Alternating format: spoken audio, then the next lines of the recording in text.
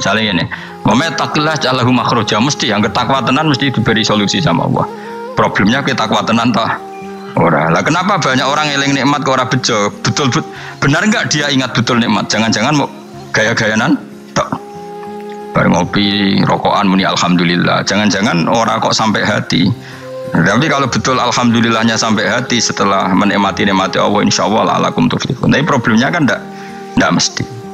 Paham ya? Jadi kalau mesti soro Allah mesti mesti, tapi kadang kita yang enggak memenuhi kualifikasi bersyarat bersyarat.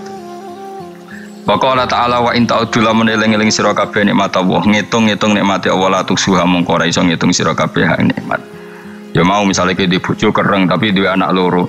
Kowe bayangnone aja bojo musuh saya apa nak gak duwe ah. Nah, sehingga ora kok ndelok bojone tapi ndelok anak kaya Allah. Cara aku ra anak kaya apa susah.